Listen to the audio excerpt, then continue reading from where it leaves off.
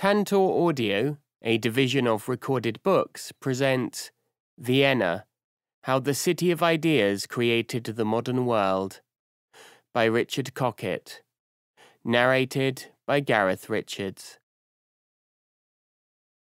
Introduction Why Vienna?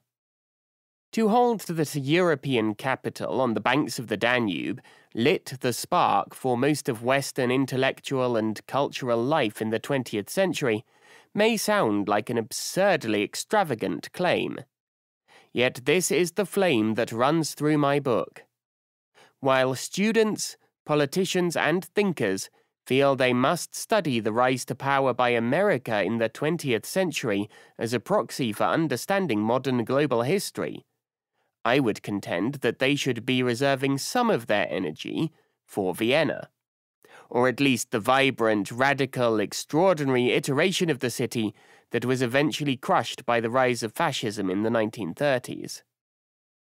Post war Western history is often considered in terms of the Americanization of European politics and culture, as the principal victor of the Second World War exerted its freshly minted hard and soft powers. But this book argues for a new perspective on the currents of transatlantic influence. Often, the Americans were merely recycling ideas that had originated in Europe back to Europeans, and the Viennese were the most striking contributors to this intellectual back and forth.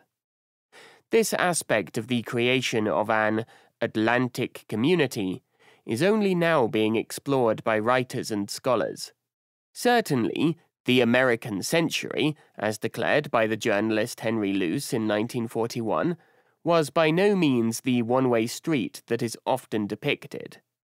In truth, no one who has looked closely can challenge the reality of Viennese influence across an astonishingly wide range of intellectual and cultural production, from nuclear fission to shopping malls from psychoanalysis to the fitted kitchen.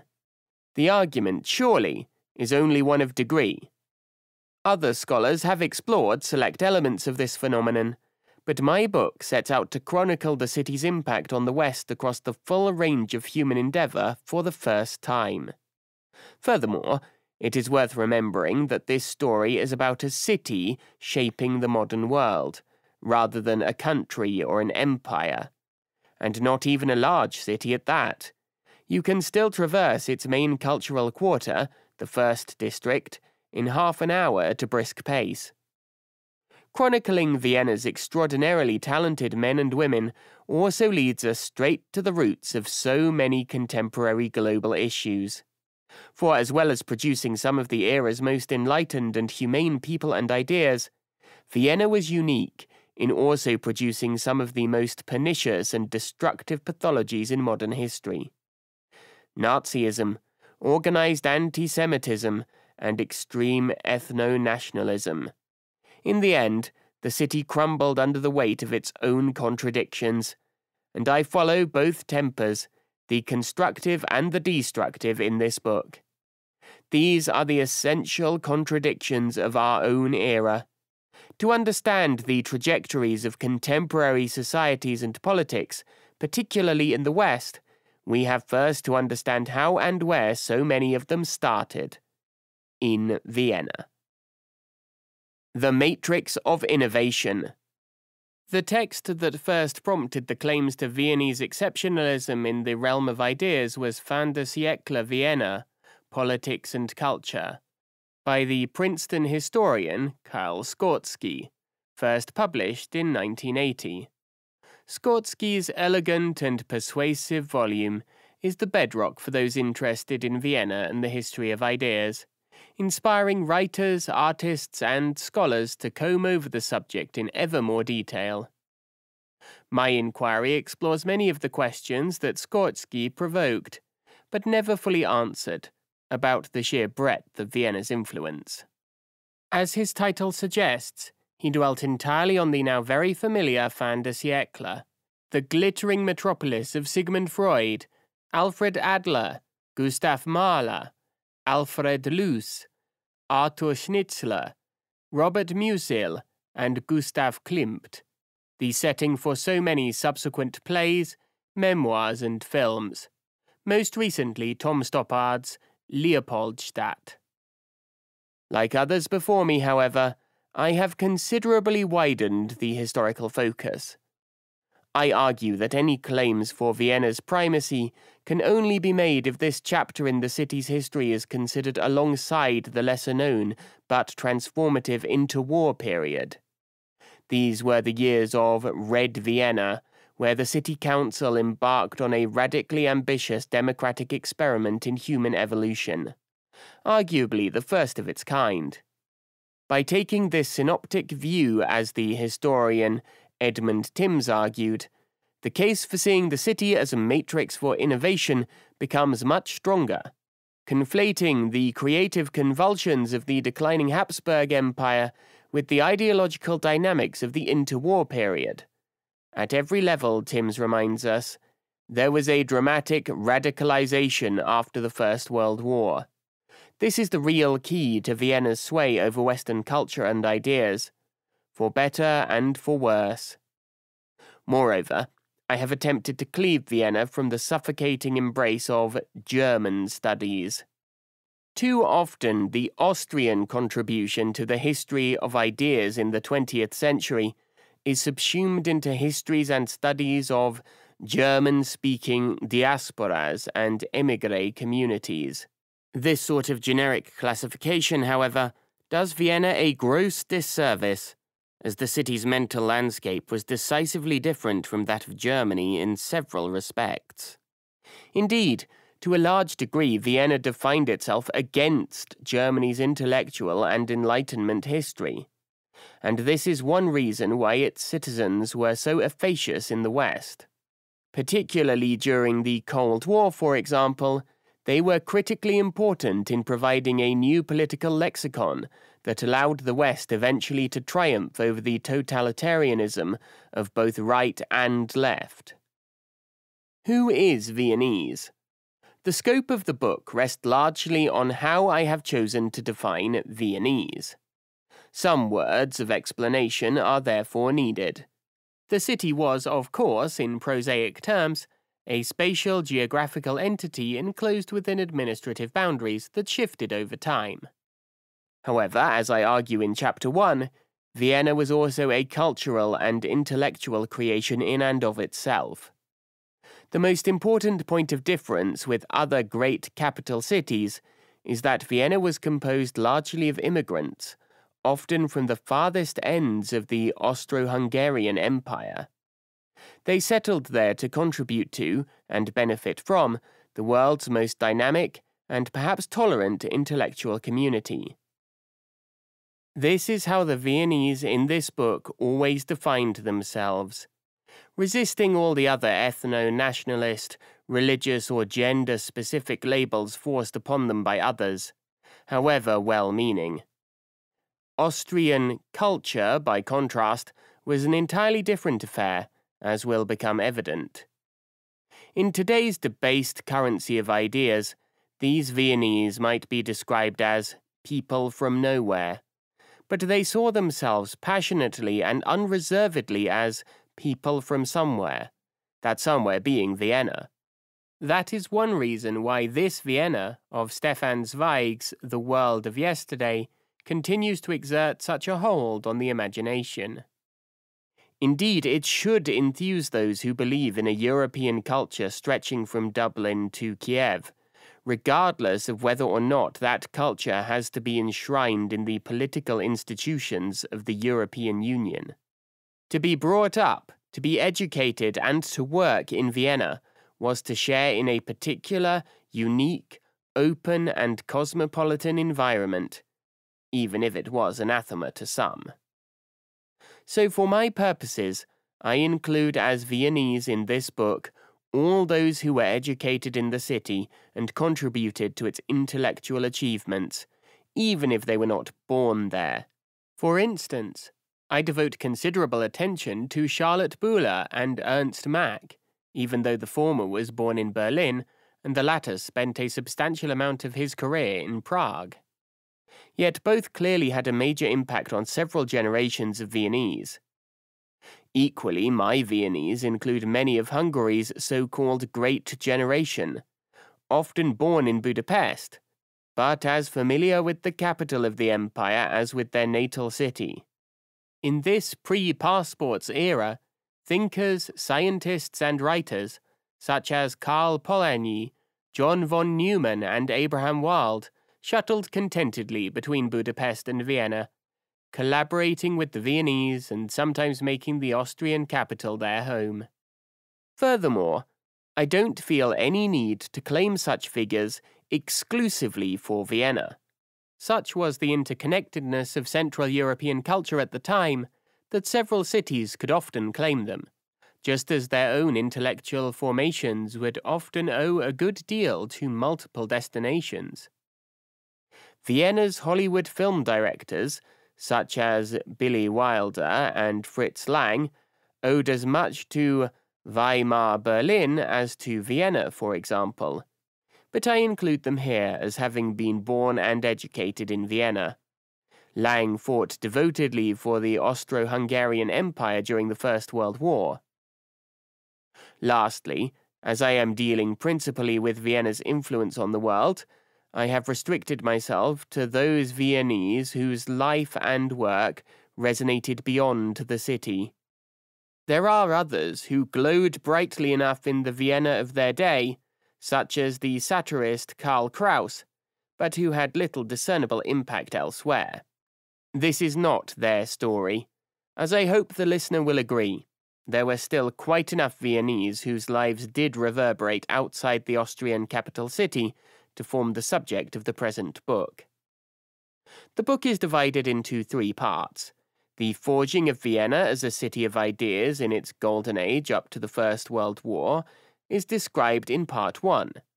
Part 2 considers the remarkable impact of Red Vienna and its eventual destruction by Austria's own brand of fascism, followed by the Nazis.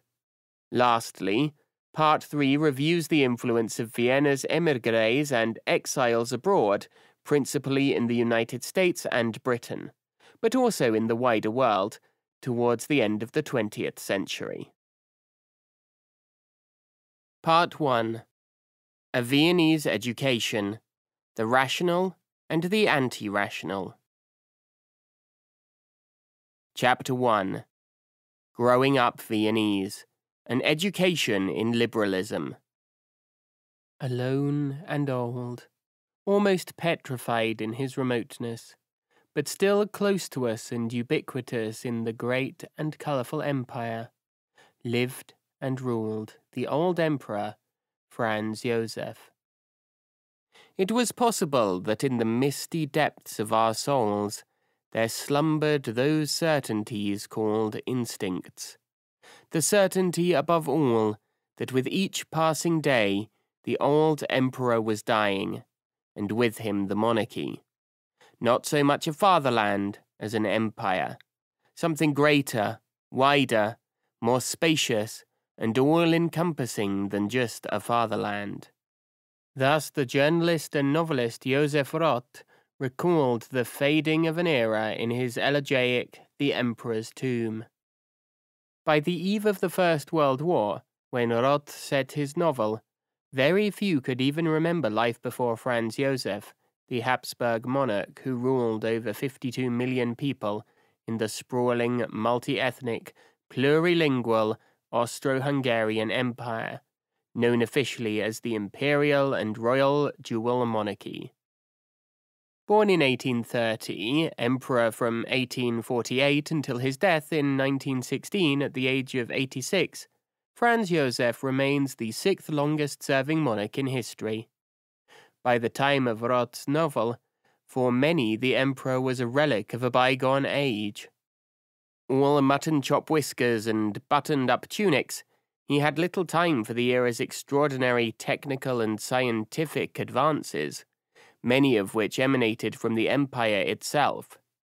Newfangled devices were not for the austere and frugal emperor. The Schönbrunn Palace, his official residence, included 1,441 rooms, but, it was alleged, no baths, as they were considered a needless luxury. Franz Josef rose at 4 a.m. every morning to be doused in ice cold water. The emperor always preferred letters to the telephone, and until his death, the rambling Hofburg Palace in Vienna, housing the emperor's private study, was lit by kerosene lamps. He slept on an iron camp bed. Shooting and deer stalking were his only apparent means of relaxation. In short, at first glance, the aging emperor seemed an unlikely figure to preside over one of the most intense bloomings of European thought and culture since the Florentine Renaissance. This was the Vienna of its golden age, the period from the mid 19th century to the start of the First World War, an era that overlapped almost precisely with the reign of Franz Josef, and with which he became closely identified. Yet this was not just a matter of chronological coincidence. Even young and dandyish types such as Roth acknowledged that, ironically, it was the supposedly remote and antiquated emperor who guaranteed their liberty to turn the world upside down. In this sense, even amidst rapid social and political change, the emperor's relevance and importance seemed only to increase rather than dwindle. Pieter Judson, a recent historian of the Austro Hungarian Empire, writes As ideas, both empire and dynasty came to symbolize a reassuring constancy in times of bewildering change. Emperor King Francis Joseph enjoyed unprecedented popularity, watching over the progressive transformation of society, moderating social radicalism of the politicians where necessary. This chapter charts the intellectual contours of this golden age, so closely intertwined with the new political doctrine of liberalism and the old Austro Hungarian Empire. In particular, we have to understand how the unique circumstances of Vienna produced so many outstanding men and women who were to have such a profound impact on the world across just three or so generations. Growing up Viennese was an education in itself. Bourgeois values. Franz Josef's long reign began in the most inauspicious of circumstances, in the wake of the European wide insurrections of 1848. After giving a little ground to the revolutionaries, the new emperor reverted to a period of neo absolutist rule. But the rise of nationalist sentiment particularly in Hungary, forced the monarchy to change tack. Hastened on its way by military defeat in 1866 at the hands of Bismarck's Prussia. Absolutism gave way to a constitutional monarchy, guided firmly by a rising generation of liberal politicians. In 1865, the dual monarchy of Austro Hungary was founded to assuage Hungarian nationalists. Thereafter, a benign Franz Josef ruled with relative equanimity for the following five decades or so, the heyday of political liberalism. As in other European countries, capitalism and political reform were the cornerstones of Austria's liberal era. The country's traditional guild structures were swept away following the passage of the Trade Ordinance of 1859 liberalizing the labor market and creating a partly free market economy. Then, in 1867, the Emperor proclaimed the December Constitution, which included a Bill of Rights guaranteeing equality before the law for all of the Empire's ethnicities, as well as freedoms of expression, religion, and assembly. This was one of the most progressive documents of its time. The Bill of Rights is still in force today. Vienna, more than anywhere, was transformed by these changes. An important consequence of the uprisings of 1848 was that the monarchy granted every individual the right to move freely within the empire, encouraging a surge of migration from farms and villages as people looked for better paid work and new freedoms in the rapidly expanding towns and cities. Vienna itself grew rapidly, from 431,000 people in 1857, including the suburbs, to over 2 million by 1910, making it the fourth largest city on the continent. A newly confident and assertive bourgeoisie took an early opportunity to stamp their mark on the city by orchestrating Europe's most ambitious and didactic program of urban redevelopment. The old medieval city, clustered around the Gothic Cathedral of St. Stephen, had been dominated by the churches, aristocratic palais, and imperial residences of the old order. In 1857, however, the massive fortifications that had encircled the city since the 13th century which had successfully repelled successive Turkish sieges, were torn down to make way for a grand new boulevard, the Ringstrasse. Over the course of the next two decades or so, Vienna's bourgeoisie erected not just a new city, but a new civilization, celebrating in architecture, as Carl Schorske writes, the triumph of constitutional Recht over imperial Macht a secular culture over religious faith. Not palaces, garrisons, and churches, but centers of constitutional government and higher culture dominated the ring. Historicism was the style of the day. Each pillar of the liberal order was therefore assigned an appropriate architecture. Classical Greek, of course, was chosen for the monumental parliament building, advertising the empire's new faith in limited democracy. The University of Vienna plundered the Neo Renaissance style, proclaiming the triumph of European culture. Neo Gothic was selected for Vienna's Rathaus, town hall, Neo Baroque for the opera and theatre, and so on. This was bourgeois triumphalism in stone and mortar built largely by Czech navvies. They were also responsible for the massive, often heavily rusticated four and five story apartment blocks in the streets running off the Ringstrasse. Equally, the Danube was tamed. A new riverbed was dug and a section of the Danube Canal straightened. Following London in 1851 and Paris in 1855, Vienna staged its own international exhibition or World's Fair in 1873 to showcase the latest wonders of the empire. Hundreds of new buildings and a fairground were built in the old royal hunting grounds of the Prater. In 1897, a giant Ferris wheel, the largest in the world, was added to the Prater in honor of the Emperor's Golden Jubilee. Designed as a symbol of the city's modernity, built by English engineers, it remains one of Vienna's most celebrated landmarks. Ringstrasse was soon being used as shorthand to describe bourgeois liberalism in full flood. These edifices were designed to impress, to intimidate, and they did. One new arrival to Vienna from the northern Austrian city of Linz was virtually paralyzed in awe as Adolf Hitler recalled in his autobiography, for hours I could stand in front of the opera, for hours I could gaze at the parliament. The whole Ring Boulevard seemed to me like an enchantment out of The Thousand and One Nights.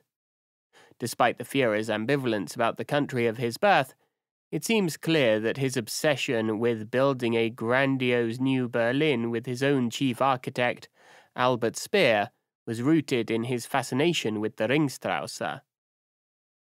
Another overawed young boy was Fritz Lang, who lived in one of the new apartments within the Ringstrasse. The director's unique visual style, writes biographer Patrick McGilligan, especially in his epic silent films, was nurtured by his boyhood experience of dwelling in the shadow of gargantuan statues and massive stairwells, steepled churches, and huge public buildings. The young Lang had more incentive than most to reimagine the Ringstrasse so devotedly. His father, a successful building contractor, was responsible for building many of those same vertiginous stairwells, cavernous vestibules, and outsized apartments that so impressed his son. Every European city of the age, however, had embarked on similarly grandiose building programs. Equally, the other great imperial capitals, London, Paris, and Berlin, suffered from comparable inequities and inequalities, of which more in the next chapter. Yet Vienna boasted several exceptional features, creating a unique social and political environment from which would emerge a distinctly Viennese intellectual and cultural tradition. For a start, Vienna was probably the most multi ethnic of the imperial capitals, humming with the vast variety of peoples from the imperial lands who gravitated there from the 1860s onwards. It was thus primarily a city of immigrants, often recently arrived. The census of 1910 recorded that only about half of Vienna's residents had legal domicile in the city, usually indicating where a person was born. The rest were domiciled in other parts of the empire, most frequently Lower and Upper Austria, Bohemia, Moravia, Hungary, Galicia, Silesia, and the German Empire. Although most of the men and women covered in this book were born in Vienna, it was often only their parents, or sometimes grandparents, who had emigrated from the provinces or the crown lands, such as Moravia and Bohemia. To a considerable degree, therefore, Viennese came to be an identity in itself. People moved to Vienna to shed their past, to build new cosmopolitan selves at the heart of an imperial system that was unusually accepting of people from all religious and ethnic backgrounds.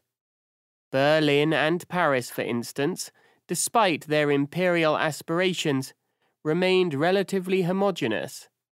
The Viennese melange of ethnicities was often commented upon and gave the city a particular tinge. One historian has called Vienna and Habsburg Central Europe a laboratory for the pluricultural experience. Others continue to pore over the empire for clues as to how contemporary politicians might cope with the challenges of modern cultural heterogeneity. Size certainly played a role. Unlike the other imperial capitals, Vienna was big enough to absorb incomers, yet small enough for everyone to meet and mix, if they chose to, particularly within the confines of the Ringstrasse. It takes less than 30 minutes to cross the inner city at a brisk pace. This was a geographical space that could have been specifically designed to encourage the casual meetings, the meshing of peoples and professions that produced Vienna's close knit community of infinite varieties. The city's 20th century architects might have pioneered international modernism, but above all, they esteemed the particular spatial qualities of their native city. Victor Gruen, born Grunbaum, inventor of the shopping mall, spent his professional life attempting to reproduce these aspects of Vienna in America, not entirely successfully. Unusually for a Viennese exile, in later life he bought an apartment in the center so he could once again enjoy the city of his youth as he rhapsodied. From my residence there, I can reach, within a few minutes' walk, places of the most diversified character. The opera, the famous concert hall of the Musikverein, the Konzerthaus, and two theatres, shops and stores of every type and description, elegant restaurants, both elegant and modest cafes, the central market for fruit, meat, and vegetables, the so called Naschmarkt, and the art galleries at the Künstlerhaus and Secession. The residents of the area represent a potpourri of all economic and cultural groups, from modest workmen to millionaires.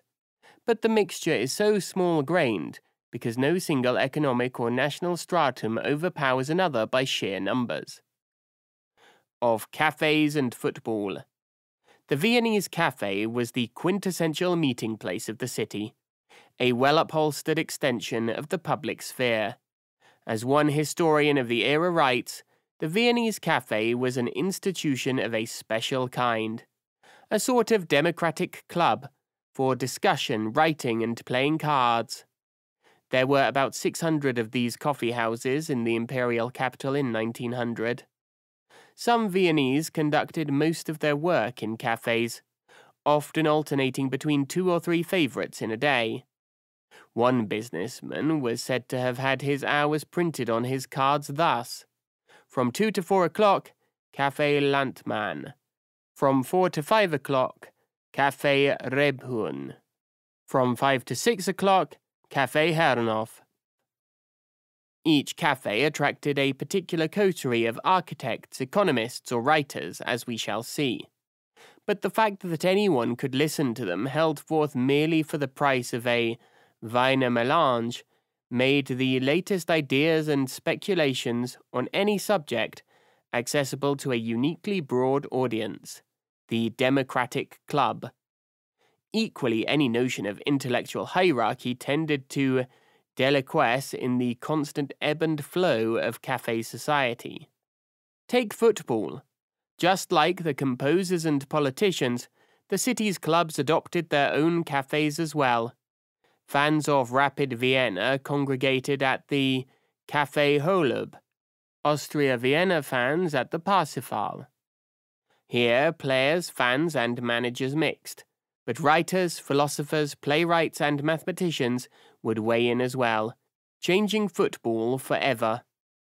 The football journalists mainly gathered with the theatre and opera critics at the Ring Cafe, the hub of Vienna's intellectualizing football culture, described as a kind of revolutionary parliament of the friends and fanatics of football.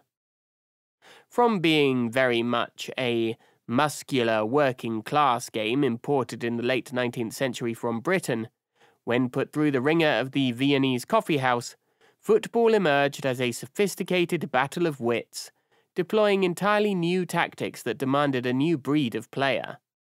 Of these Viennese footballers, such as centre forward Josef Uridil and the slight creative genius Matthias Sindelar, nicknamed De Papierene, the paper man, for his ability to drift through defences, were lauded in the coffee houses just as much as the architect Adolf Loos or the composer Arnold Schoenberg. As Jonathan Wilson, the best historian of the game, writes, for the importance of tactics to be fully realized, the game had to be taken up by a social class that instinctively theorized and deconstructed, that was as comfortable planning in the abstract as it was with reacting on the field, and crucially, that suffered none of the distrust of intellectualism that was to be found in Britain.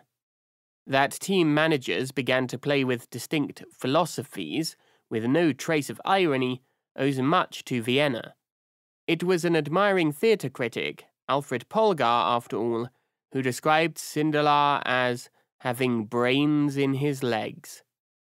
It was no coincidence, therefore, that the heyday of Austrian football, the interwar years, overlapped with the last glorious flourish of Viennese coffeehouse intellectualism. The irresistible clamour for Sindelar to be included in the national team, affectionately known as Das Wunderteam, began over the roasted beans in the Ring Cafe.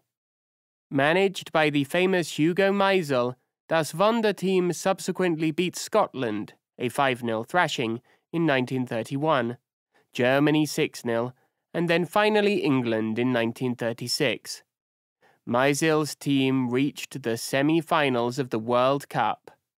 Other European teams, notably Italy, were watching closely. From this point on, continental football rapidly left the rugged, long ball game of its English homeland far behind. The culture of Bildung.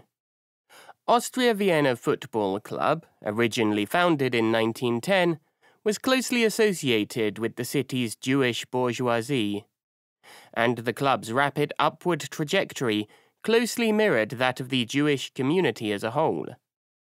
For of all those who, from 1867 to 1914, hastened to the city to recast themselves as Viennese citizens, Jews were amongst the most numerous, and certainly the most successful. Thousands moved from the east of the empire to the inner suburbs of the city. The district of Leopoldstadt, dominated by the textile trade, was their favored destination, separated from the inner city only by the Danube Canal. The entirety of Leopoldstadt was much bigger than its Jewish quarter, and non Jews outnumbered Jews. Nonetheless, by the 1920s, the district still housed a third of the city's Jewish population and served as a shorthand for Jewish Vienna. From here, new arrivals could begin the complementary process of economic, social, and cultural assimilation that might one day afford them an apartment on the other side of the waterway. Jewish people were the principal beneficiaries of the Habsburg monarchy's liberal reforms of the 19th century. They gained the right to reside in Vienna after the 1848 revolutions and were granted full civil rights in 1867. In that year, the Vienna census registered 6,000 Jews, but this number grew to about 180,000 by 1936. This was about 10% of the city's population. Among Europe's capitals, only Warsaw and Budapest had higher populations. This Jewish component of Vienna's population has been exhaustively analysed, as has the degree to which Vienna's culture and thought were specifically Jewish. As the historian Steven Beller shows, some disciplines and professions, such as psychoanalysis, philosophy, and literature, were heavily dominated by Jews. The novelists Roth and Zweig, for example. Others, such as economics or visual arts, much less so. There were wealthy Jews living in opulent palaces on the Ringstrasse, but many more lived in extreme poverty, crowded into Leopoldstadt. In short, it is almost impossible to generalize about Vienna's Jews, assimilated or not. A salient point, however, is that within the middle and upper classes of Vienna, people of Jewish and non Jewish background were intricately linked by a shared belief in Bildung. The German tradition, dating back to late 18th century Weimar classicism, of intellectual self improvement, focusing on the personal growth of mind and spirit over the acquisition of wealth or worldly status, although many Viennese in this book manage to combine all three. Weimar classicism was most strongly associated with the poets Friedrich Schiller and Johann Wolfgang von Goethe, revered by the Viennese as much as by their own compatriots. Prussia and the northern German states had led the way in this respect during the first half of the 19th century. Austria, and particularly Vienna, were relatively slow starters, but from the 1840s, the capital of the Habsburg Empire began to outstrip its northern rivals in enthusiasm for the fresh intellectual values of Bildung. Subtle differences, however, emerged between the German and Viennese concepts of this, yielding over time significant differences in the formation of rival intellectual traditions. In Germany, the term Bildungsbürger, an educated citizen, carried with it distinct overtones of class and innate intelligence. Bildung was often thought of as a process of self realization, of finding and expressing an individual genius, the product of breeding, the Viennese concept of Bildung, by contrast, came to be much more democratic. The Viennese believed that intellectuals were primarily formed through education and experience.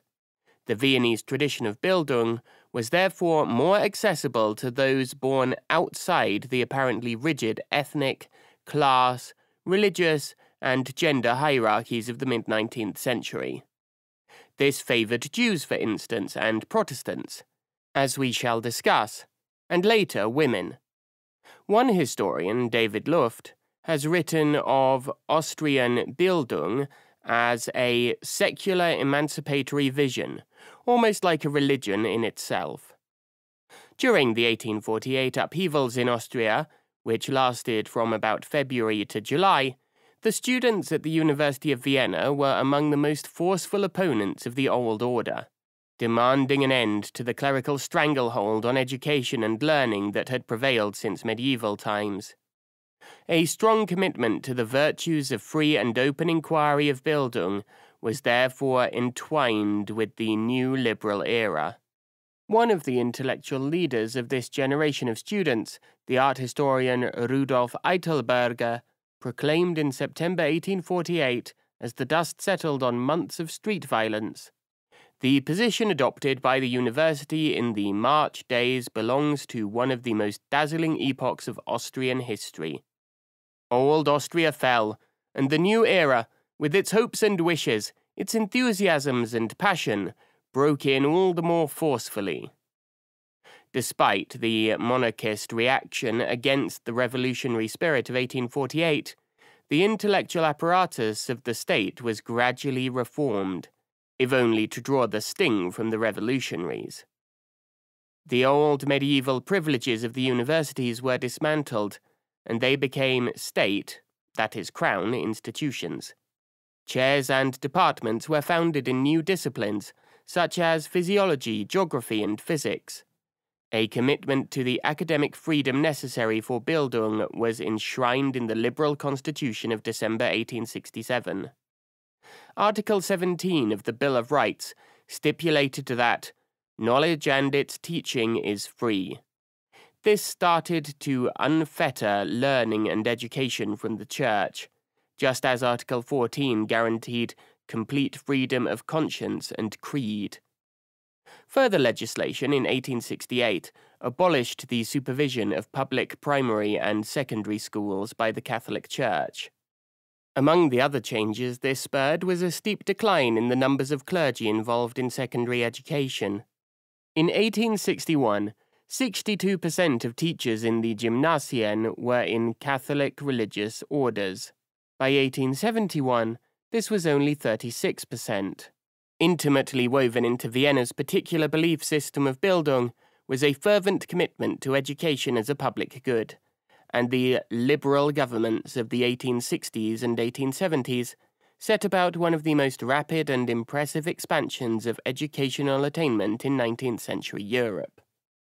A free, secular primary education was mandated for all boys and girls from the ages of 6 to 14. Textbooks were centralized at all levels to give all children access to the same knowledge. These were often written by the leading minds of the empire, such as the physicist Ernst Mach. The number of gymnasien, the famously academic secondary schools, and Realschulen, their more scientific and vocational equivalents quadrupled from 101 in Austria in 1851 to 432 in 1910, far outstripping the rate of population growth. Indeed, after the 1880s, governments were more concerned with trying to restrict secondary school numbers to deter lower middle class youth from aspiring to professional and bureaucratic careers that few could ever realize. An important consequence of this huge increase in the number of well educated teenagers was a commensurate increase in the numbers enrolling in higher education. Before the 1860s, Austria had been a conspicuous laggard in this respect. But by the early 20th century, the situation had been reversed. By 1900, 1.06% of all Austrians aged 20 to 24 years old were studying at university or an equivalent institution, compared with 1.02% in Italy, 0.92% in France, 0.89% in Germany, and just 0.79% in Britain. Only Switzerland, an outlier, surpassed Austria, with 1.40%. As we shall see, enrollment at a gymnasium was in itself no guarantee of intellectual sophistication, let alone achievement. Nonetheless, it is clear that the seriousness with which the liberal reformers took their duty to improve access to education and to inculcate the virtues of learning in as many people as possible had a great deal to do with the extraordinary flowering of intellectual and cultural talent during Vienna's Golden Age. Proportionally, of course, the numbers of the population as a whole benefiting from an elite education at the University of Vienna remained tiny, but still large enough to encourage many families to at least contemplate such an education for their sons and later daughters. The Idols of Bildung. For Viennese, the idols of the continental European Enlightenment were German, and bore down on Viennese youth at every turn, both figuratively and literally. Consider this mise en scène from the childhood of the architect Richard Neutra in his autobiography Life and Shape. My elder brothers were living in quarters which were highly respected by my unerudite parents. Their study bedroom was equipped with the bookcase, a globe standing on it, and more books on a board. On the opposite wall were small white plaster busts of Mozart and Beethoven. Again, as well as bronze plated busts of Goethe and Schiller. A lexicon of world encyclopedia in many volumes was in the glass doored bookcase. I was told it held everything there was to be known in the world. This particular quartet, Mozart, Beethoven, Goethe, and Schiller, surpassed all others in esteem, except perhaps for the philosopher and mathematician Gottfried Wilhelm Leibniz. They were held to enshrine through their poetry, prose, and music a universal order, secular, rational, and liberal, that transcended petty nationalisms and religious obscurantism. Later, Richard Wagner and Friedrich Nietzsche would be allowed into the pantheon. It was a powerful, beguiling vision and provided the central intellectual framework for the Viennese bourgeoisie and the Habsburg monarchy, passed down from generation to generation, gathering mass as it went. Even in the dog days of the liberal era, Gustav Klimt's celebrated Beethoven Frieze provided yet another extravagant expression of this vision.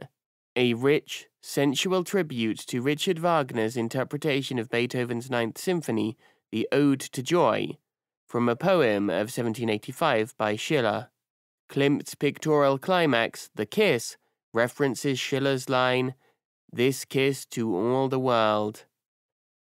The Beethoven frieze was originally painted to complement an exhibition in 1902 of a statue of the master as a naked Olympian deity by the German sculptor Max Klinger.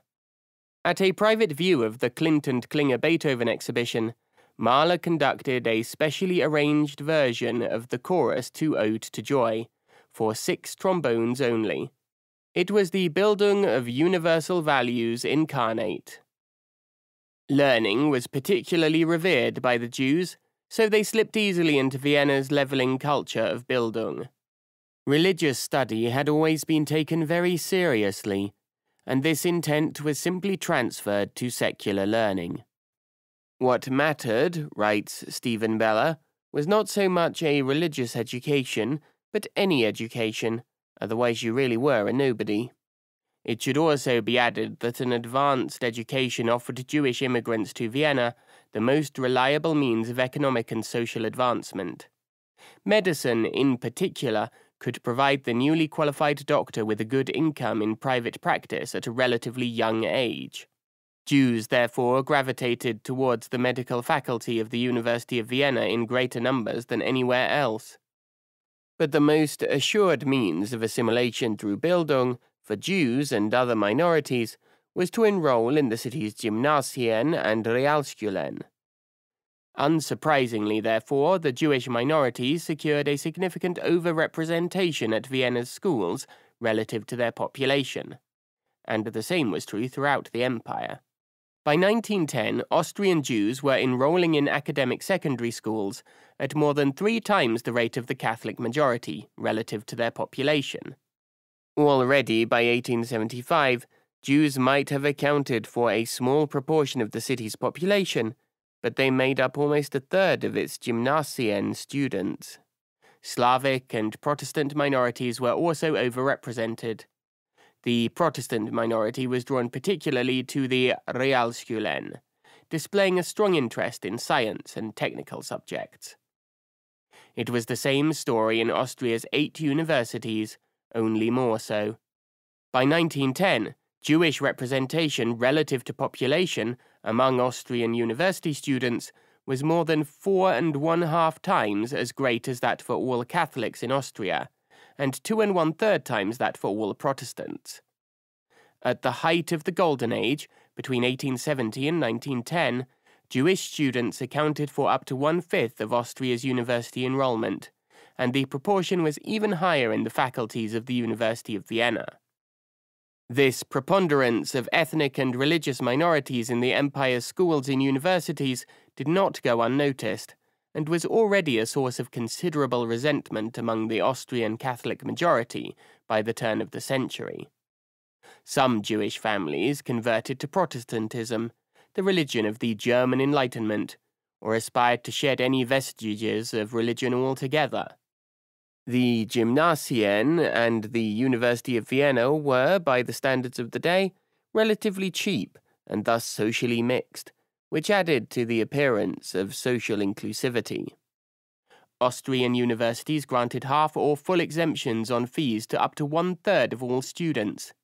Even so, some assimilated Jewish children noticed that they always tended to bunch with their own at school or university there was an inescapable feeling that they were always different.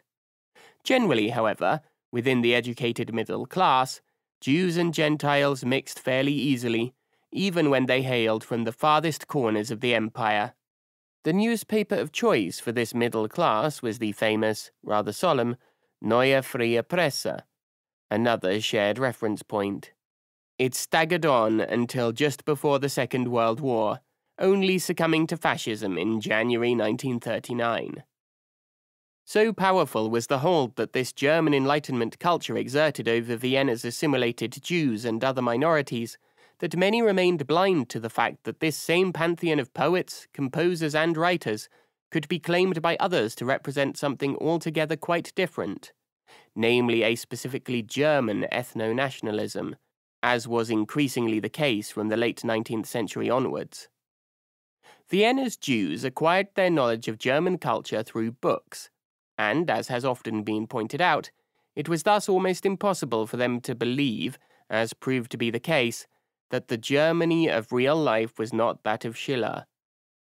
To a degree, therefore, the Viennese came to see themselves as the real guardians of German high culture, even more so than ethnic Germans themselves. Moreover, it would be wrong to think it was only the assimilated Jews who struggled, and often failed, to comprehend how their German Enlightenment had been usurped by ethno nationalists. Take the economist Friedrich von Hayek, nominally a Roman Catholic, but raised in the same secular Enlightenment tradition.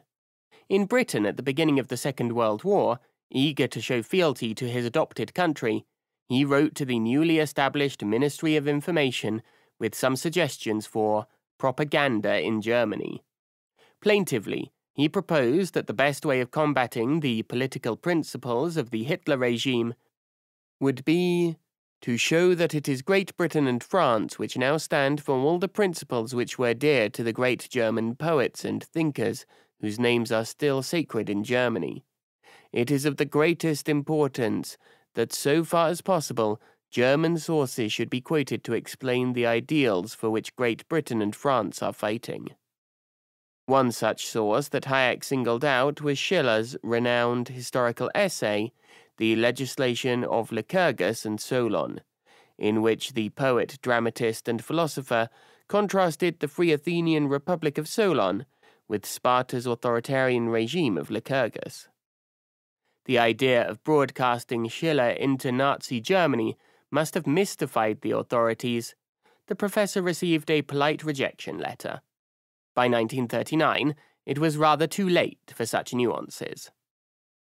The educations of a polymath. These Enlightenment values of Bildung were drummed into the offspring of the Viennese bourgeoisie through a deceptively complex educational process. not so much a formal system as an overlapping network of official, informal, and domestic pedagogy. Overall, this was virtually unique to Vienna and contributed in no small part to the city's prodigious output of talent. On the face of it, a Viennese bourgeois education seemed to be fairly straightforward, in common with the rest of the German speaking world. Boys attended a Realschule, which focused on technical and scientific subjects, or a gymnasium, followed by, for the more academic, three or four more years at the University of Vienna. Founded in 1365, then the fourth largest such institution in the world and one of the most prestigious in Europe. The artistically inclined could go to the Kunstgewerbeschule des KK Österreichischen, Museums für Kunst und Industrie, or School of Applied Arts, founded in 1867. This progressive institution far more open to women students, for instance, than the university, offered vocational courses in subjects such as architecture. Graduates included the painters Gustav Klimt and Oskar Kokoschka, and the ceramicist Lucie Rie. A gymnasium education offered a largely classical curriculum Greek, Latin, German language and literature, as well as history and geography, maths, physics, and religion. Some could take French and English as well. The schooling was certainly rigorous and demanding, with up to eight hours of Latin grammar, vocabulary, and literature a week. It was also, by every account, designed to induce rigor mortis among the students. Nothing but a constant surfeit of tedium, bemoaned the writer Stefan Zweig, born in 1881 in his memoir The World of Yesterday. School to us meant compulsion, dreary boredom, a place where you had to absorb knowledge of subjects that did not seem worth knowing, sliced into neat portions. We sat there in pairs, like convicts in their galley, on low wooden benches that made us bend our backs, and we sat there until our bones ached. There was too much rote learning, and little fraternization between the children and the Dickensian Gradgrinds in the senior common room. The management theorist Peter Drucker recalled that few teachers at his famous classical gymnasium were of even low level competence. Most bored their students most of the time, and themselves all of the time. They demanded, pompously, to be addressed only as Professor, a practice sanctioned by imperial decree. Unsurprisingly, there was a high dropout rate. At one point, only one third of those who had started at a gymnasium were finishing the whole eight years. Those who survived the ordeal then had to sit a notoriously arduous exam, the Matura, or officially Reifeprüfung. Science was almost entirely neglected, sport even more so. The Realschulen were slightly more pedagogically adventurous, but not by much. Such a passive, infantilizing experience could never have produced such a wealth of ferociously bright and inquisitive minds, and indeed it did not. Most of that was done at home. For the real work of forging the city's intellectual and cultural elite was taking place behind the elegant facades of the Ringstrasse's apartments, particularly when it came to science, Bildung started and sometimes finished at home. The city's musical and literary salons were renowned, hosted by wealthy families such as the Wittgensteins. Less well known is the fact that Vienna's spacious middle and upper class homes often accommodated as many amateur zoos, herbariums, and laboratories as bedrooms and bathrooms. Karl Przibram, a physicist, recalled this environment from his own childhood. The dominant spirit of my paternal home was that of the educated Jewish bourgeoisie of the liberal era, with its unconditional faith in progress and its open mindedness for all achievements in art and science. My father himself, incidentally a gifted poet and full of deep social feeling, was very much interested in technical applications of the sciences.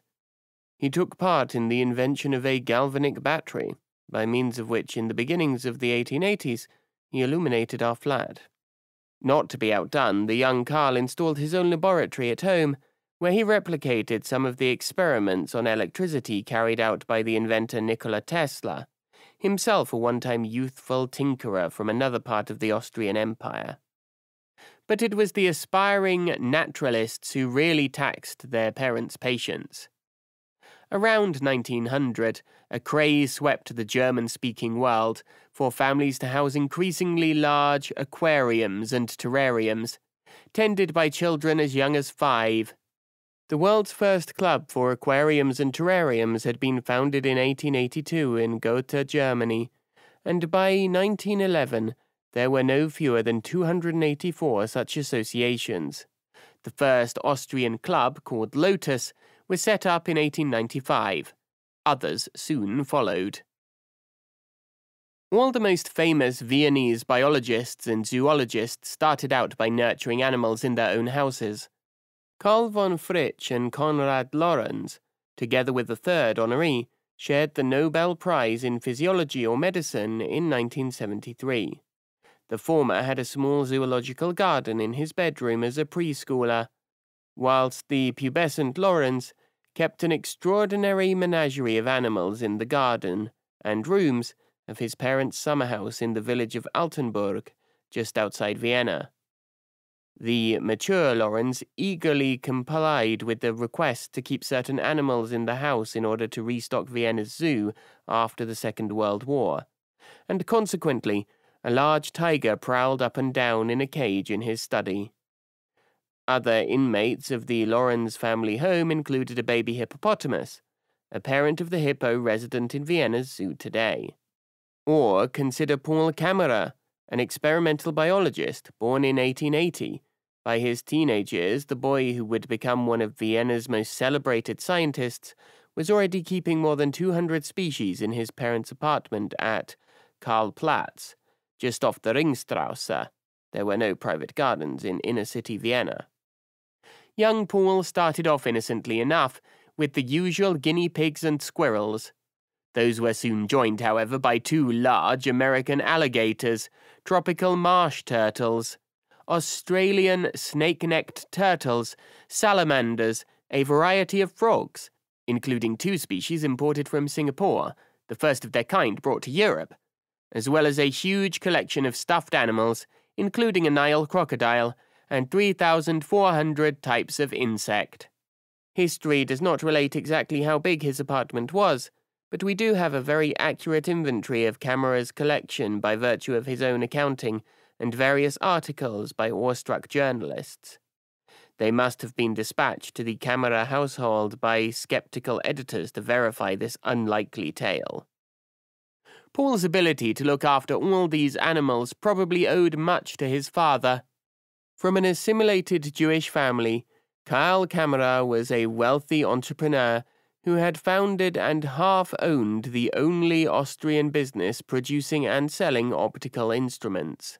He sold his products to observatories and other scientific institutions around the world, so may well have provided some expert help in building the glass tanks and cages that were needed to prevent the alligators from terrorizing the neighbors. For the future course of biology, the major significance of Kammerer's home zoo is that the precocious teenager started experimenting with his animals' environments. He connected each animal house to a gas appliance to deliver heat, and also developed his own ventilation device to change their air regularly.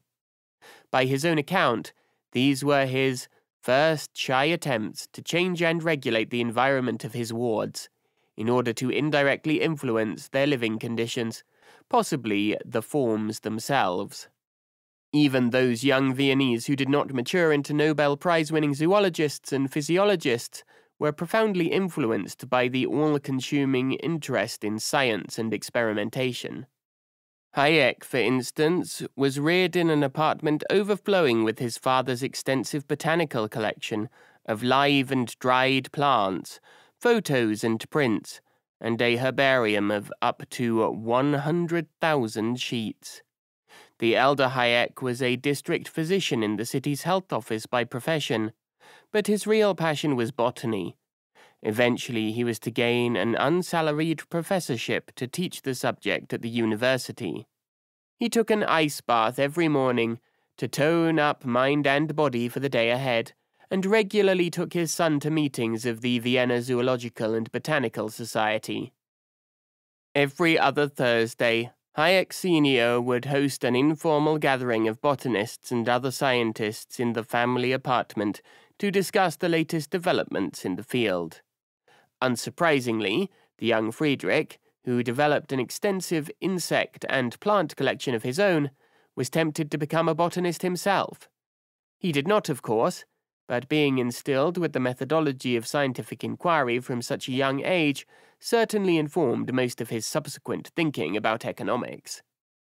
His two brothers would both become professors in the natural sciences, anatomy, and botany.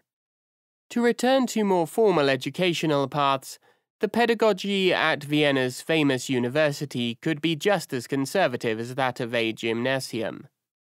The university, however, redeemed itself on several counts. First, it offered an intoxicating breadth of intellectual inquiry. A prospective student took a general exam to enter and was then allowed to roam pretty much at will before settling on a final subject in which to be examined for a degree. Students, therefore, had plenty of time to seek out the professors who interested and inspired them, a common experience for many in this book. Like other German speaking universities, that of Vienna had only four faculties medicine and anatomy, theology, law and philosophy, which after 1900 was the largest. Most other subjects were taught in one or other of these last two faculties, meaning that interdisciplinary boundaries were porous, if indeed they existed at all. Economics, for instance, was taught in the law faculty, natural sciences in the philosophy faculty. There were no arbitrary divisions between science and humanities. All was philosophy in its purest sense, the study of fundamental questions. A student was encouraged to shape his or her own epistemology, and thus fortified, the university's alumni would continue to do so for the rest of their lives. Take Hayek again. As we have seen, he trained at home as a botanist to a quasi professional level.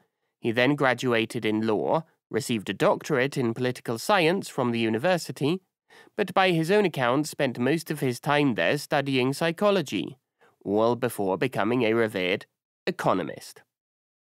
As he remembered later, the decisive point was simply that you were not expected to confine yourself to your own subject.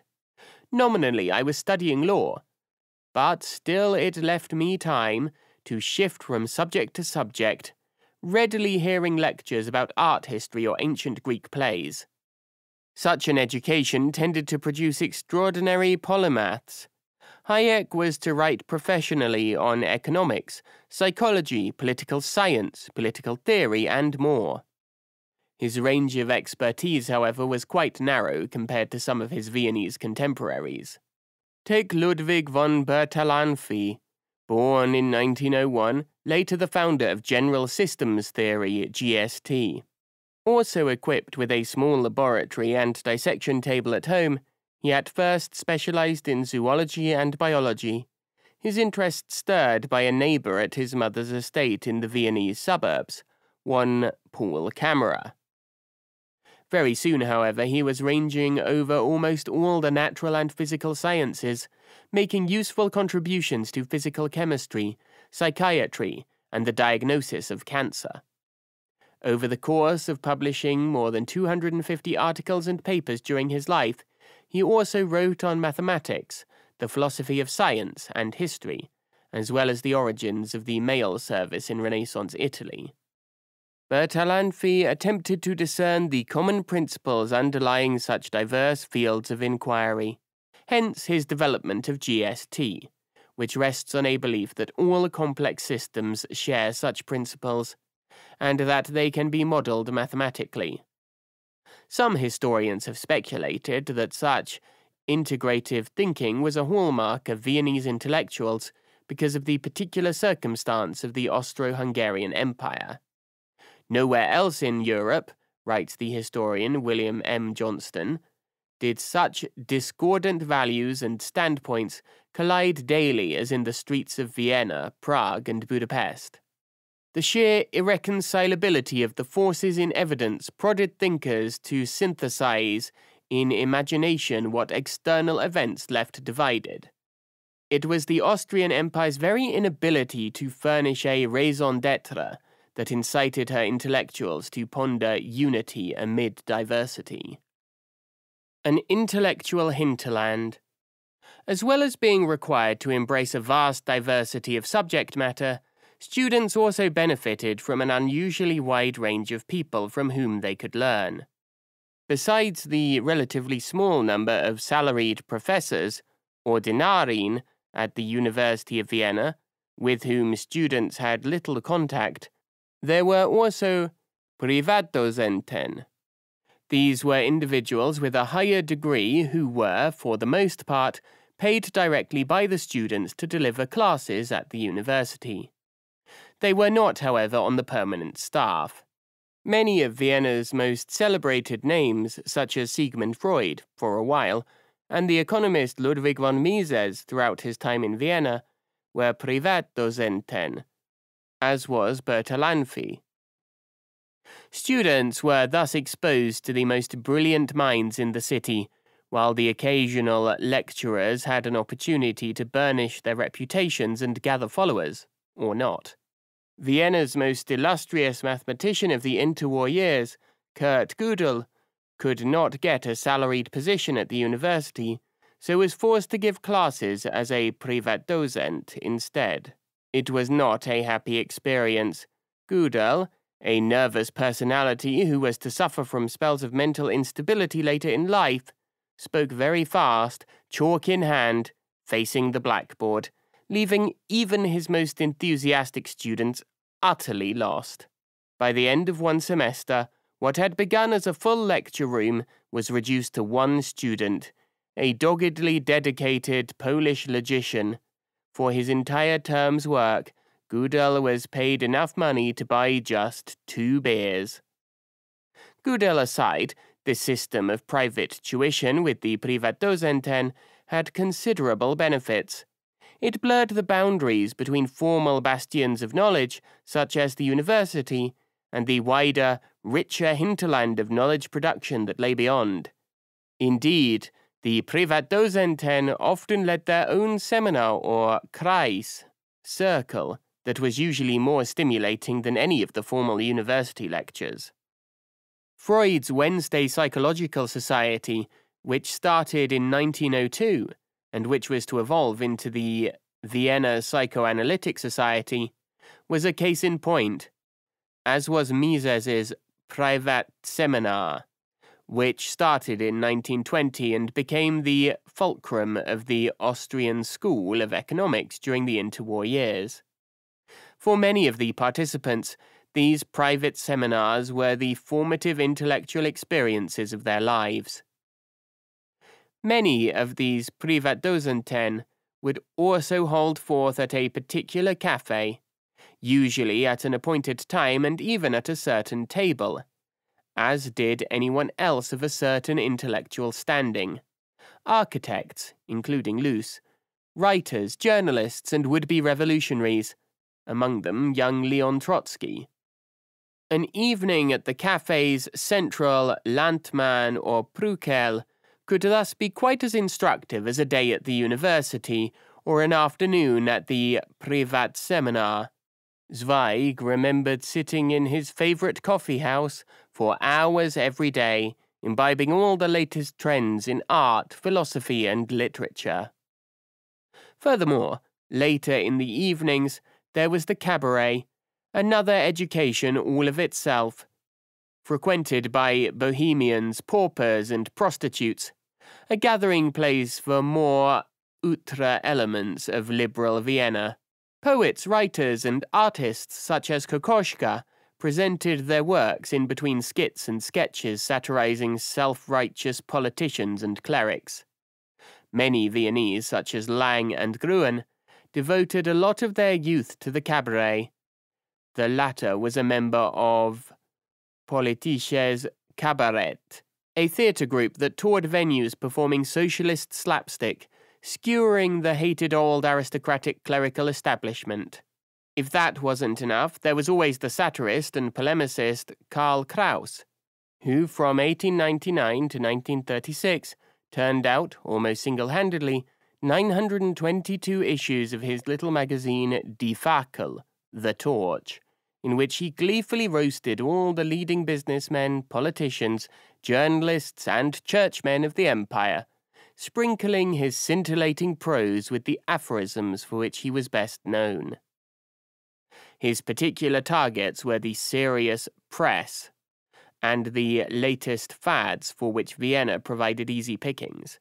Reading Kraus, almost forgotten today, was a tutoring in its own right. A truly Viennese education, therefore, was as much informal as formal, a rich tapestry of pedagogies and teachers in the widest sense of the term. It was a culture where the coffee house could afford as rigorous an education as the classroom, and the privat seminar or family home could offer as stimulating an environment as any university course. Equally, this process of acquiring knowledge respected and encouraged an easy flow between the professional world and academia, and an equally fluid exchange between disciplines. A Viennese education was hardly systematic, but it was certainly comprehensive. The dead hand of specialization had yet to intrude.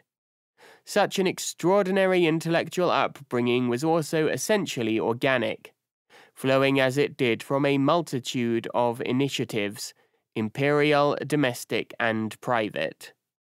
Mach 1 Vienna, Science, and Literary Modernism. Of all the disciplines, a great emphasis on science marked out the intellectual life of Vienna. This was a vital component of Viennese, particularly assimilated Jewish middle class society, and has often been overlooked. The Imperial Academy of Sciences had been founded in 1847, and the subsequent decade or so saw the creation of similar institutions, as well as overseas expeditions across almost every field of scientific endeavor.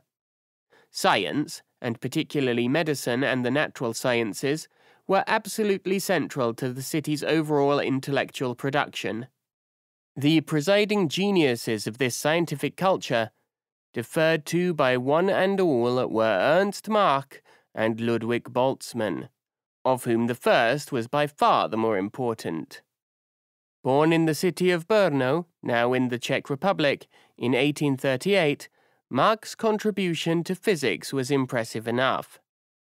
His work on shock waves, which he first photographed successfully in 1886, was groundbreaking. His name was consequently given to a measure of the speed of a body relative to the speed of sound, and much else besides. Less well known are the Mach crater and asteroid.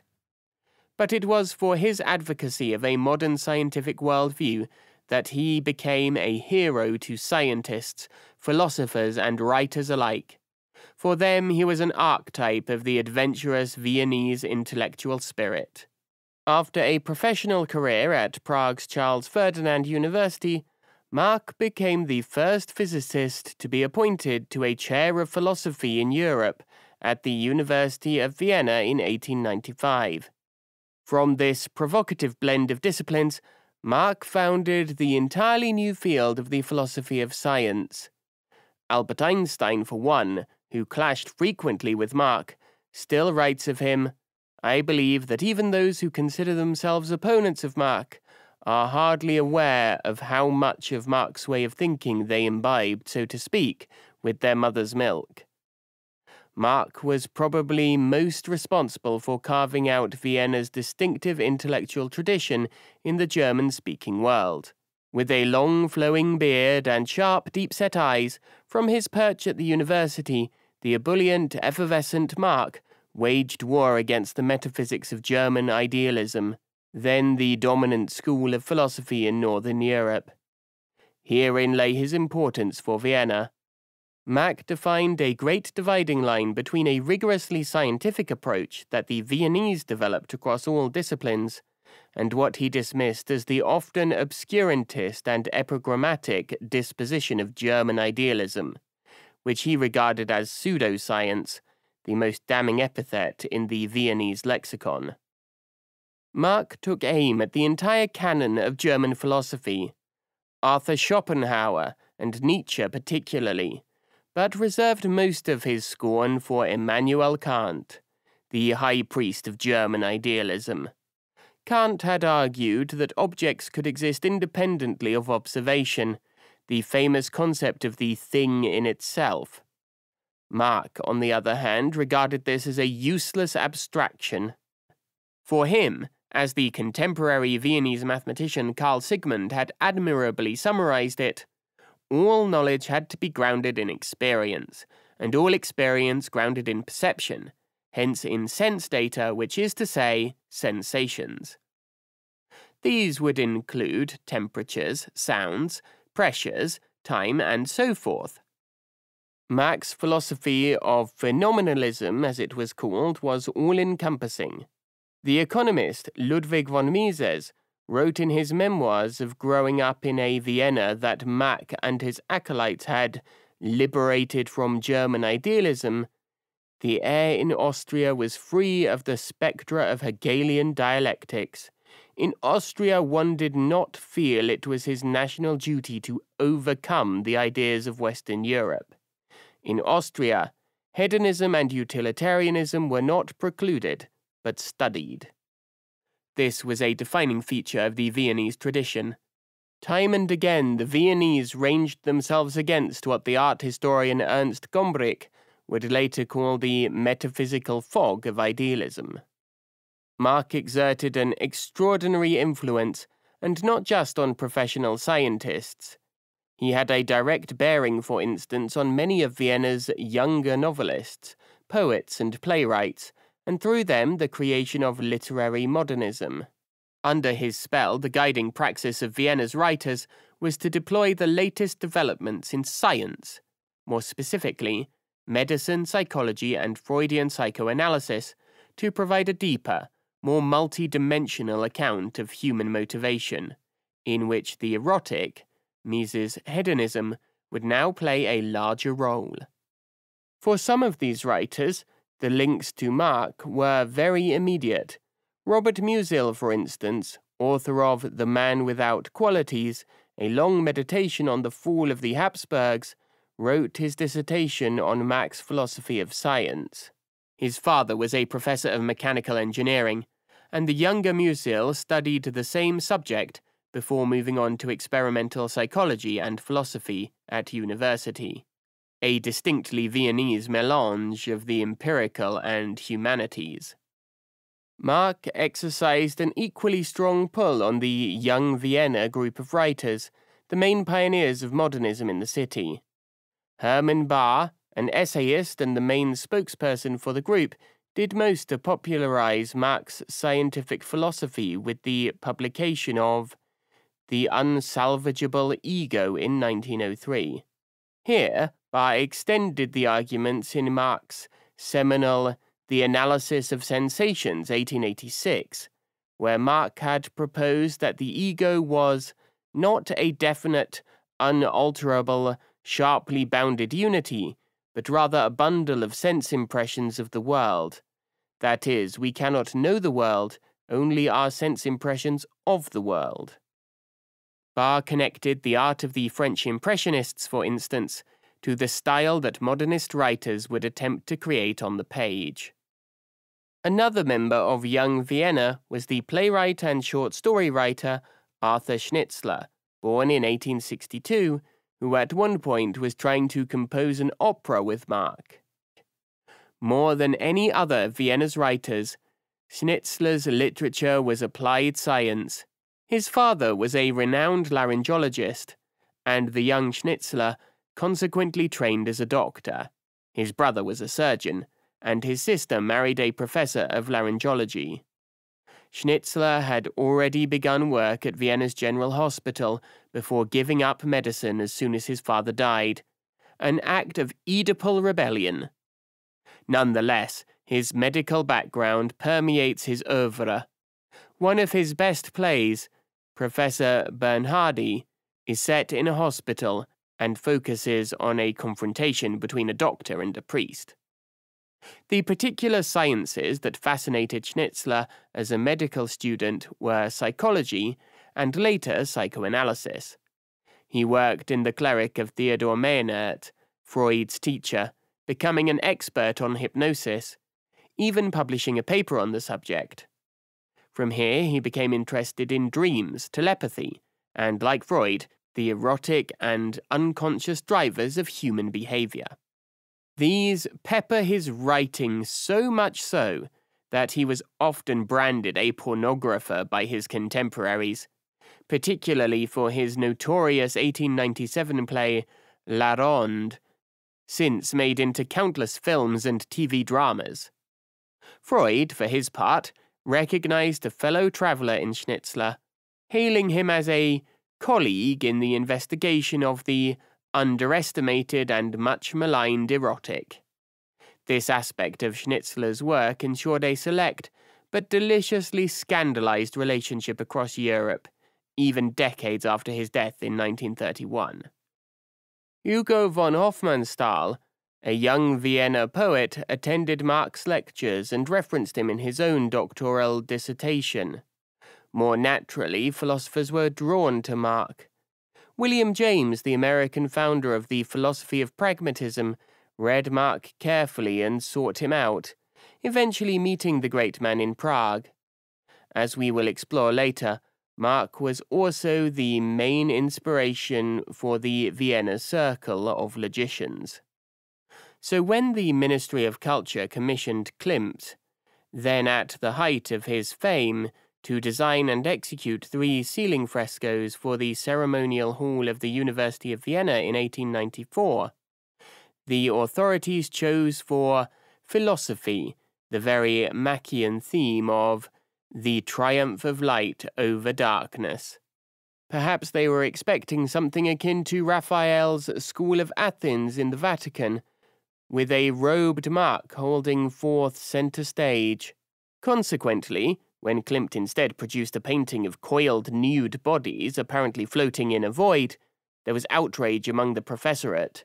The image was considered shocking, not so much for the nudity, but because it seemed to owe more to German metaphysicians than to Mach and Viennese rationalism.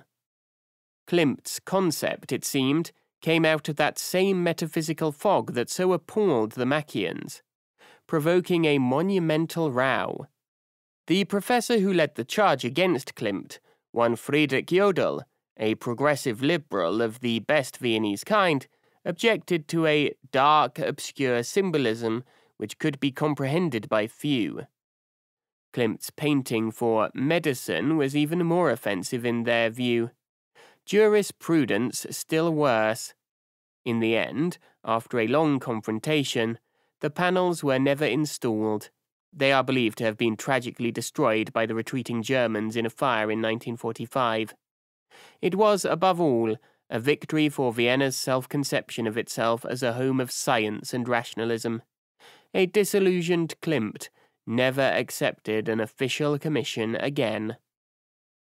Vienna also differed noticeably from the continent's intellectual mainstream in one other important respect namely the city's attitude towards the hottest scientific topic of the day, Darwinism and evolution.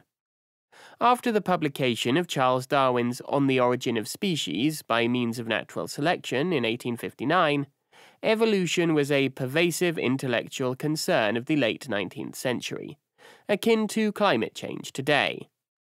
Broadly speaking, Increasingly dogmatic interpretations of Darwin swept through Europe. We hope you enjoyed this preview. To continue listening to this audiobook on Google Play Books, use the link in the video description.